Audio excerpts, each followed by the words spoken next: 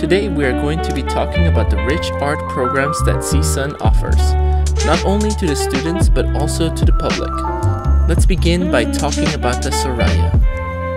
The architecture and design of the Soraya is beautiful, bringing superb acoustics where the music can truly glow. It is a cultural hub where the performers from around the world can share their craft to the people of the San Fernando Valley.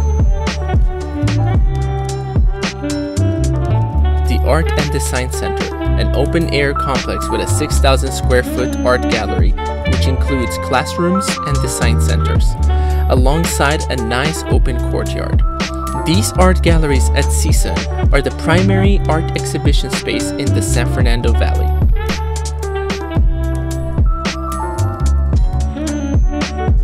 All of this would not be possible if it wasn't for the support of our patrons.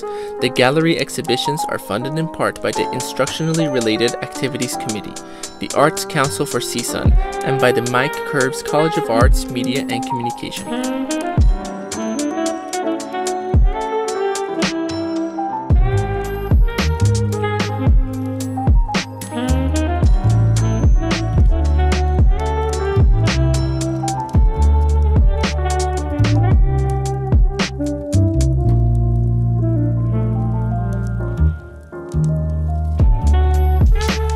As background, the mural was painted some years ago by Chicano Studies students to commemorate the department's 30th anniversary.